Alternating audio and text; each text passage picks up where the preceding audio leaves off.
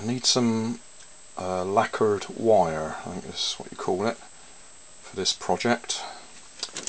So going through my little box of bits, I just happen to have a transformer here, which hopefully, if I take it apart, I might be able to salvage the windings on there and see if I can use them.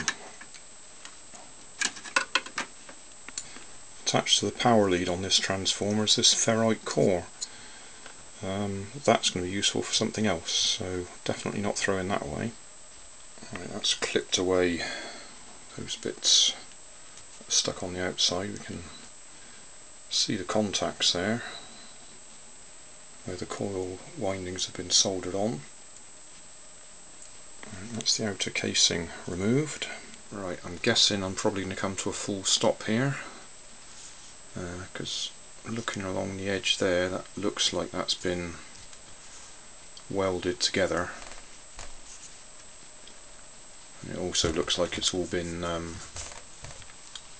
covered in glue or wax or something to hold it all in place so I doubt whether I'm going to be able to get the coils out or at least unwind the coils. I'll try a bit harder but I suspect looking at that weld across there and that weld across there I don't think this is going to come apart. That's going to be a bit frustrating because you can see I've got lots of nice wire in there. If I can only get that apart I can unwind that and use it. Right, I'm not going to give up quite yet. I'm going to see if I can actually saw through the weld. You never know. Well, you probably do, but I'm going to try it anyway. Well, that's one side. We'll turn it over and have a go at the other side. Well, that was quite a surprise. I didn't expect it to come off that easily.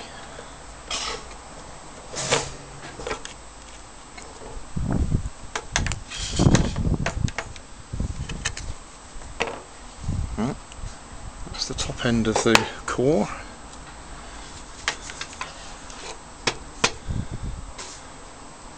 I wonder if it'll pop out with a little tap or whether it's all glued in place. I've given it a couple of taps and clearly it's moving so I'll use my little tapping tool and tap it a little bit more. Rather than tap the coil what I'll try and do is tap the centre out. That's going nicely. Just see if we can catch the last tap. Done it.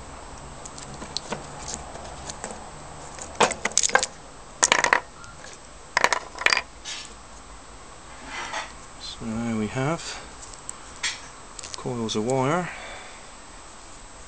So with a bit of luck might be able to unwind them and reuse the wire.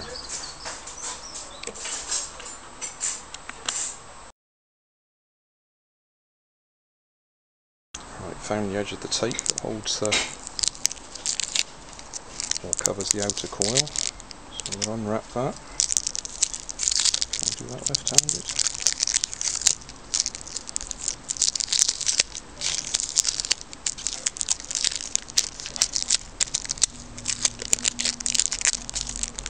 No, To put the camera down. Alright, that's some of the tape unwound and we've got our first coil of wire there. That's quite a small one. So I'll get that one off, wrap it onto something. Now we'll unwind the windings. I'll wind them up on here, which is where I keep my scrap wire and see what we get. Alright, that's the first layer or first winding recovered. Um, I didn't actually measure it. I got about uh, 20 odd turns on this drum now, but uh, I couldn't tell you the diameter, so that doesn't really help. I'll try measuring it later on. Right, the next layer or next winding is significantly thicker wire. I've no idea what thickness these wires are, so I'm not even going to try and guess. But this layer was about twice the thickness of the earlier winding that I took off. Right, that's the second winding removed. That was about 96 turns I got off, and that bit of sticky tape's useless, isn't it? Hmm. Alright, this will be the third winding. This looks pretty thick wire as well. I think the wire I actually want to use when I finally get to my little project is going to be this stuff right in the middle. But anyway, we'll take the third winding off now. Right, that's the third winding recovered. I actually measured that one and it's about 12 metres. So now we've got to try and get to that one on the inside. That's quite handy, that's just pushing out. Obviously I'm trying to do it with my left hand while I'm holding the camera, which is not a good idea. So I'll stop doing that, but you can see it's pushing out easily. Yeah. I think I've got this in focus.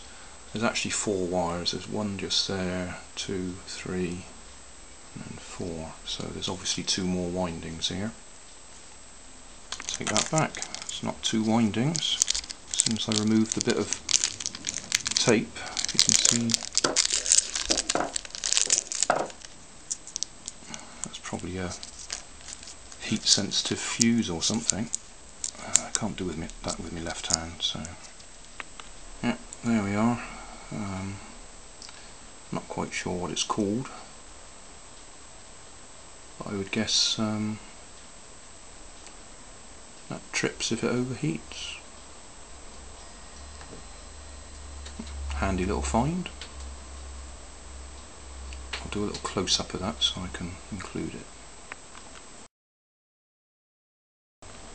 Just reading what it says on it. Uh, UMI 2 amp 250 volt 130 degrees C Y2 123 whatever that might be.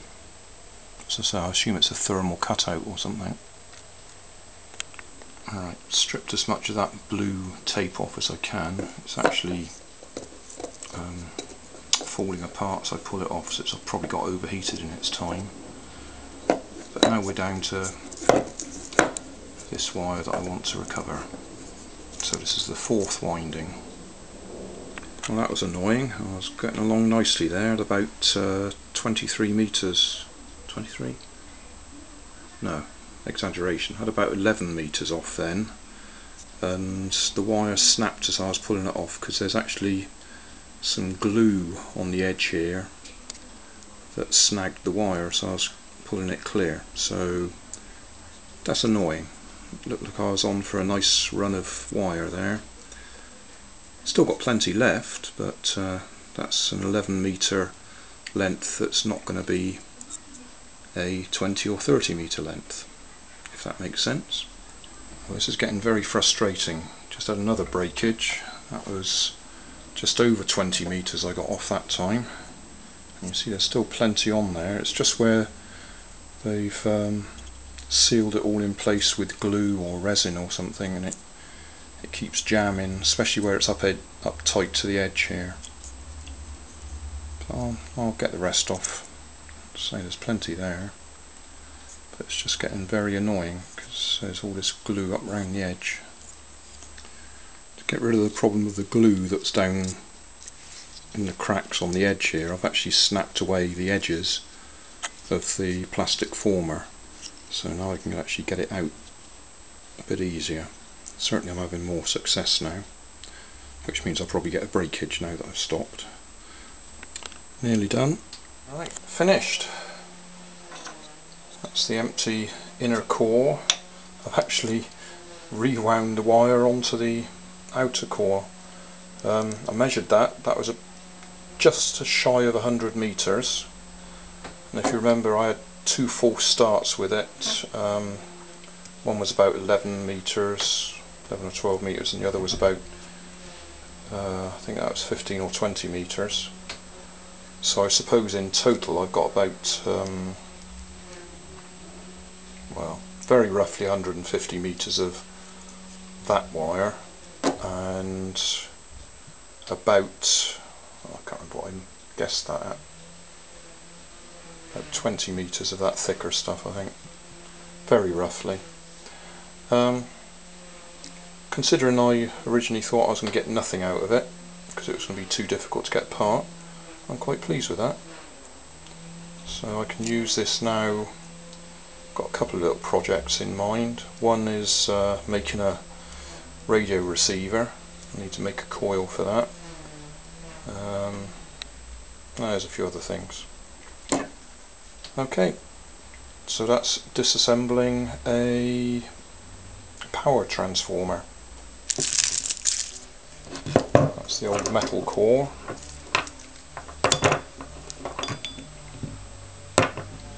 That's the plastic inner cores or formers that's my recovered wire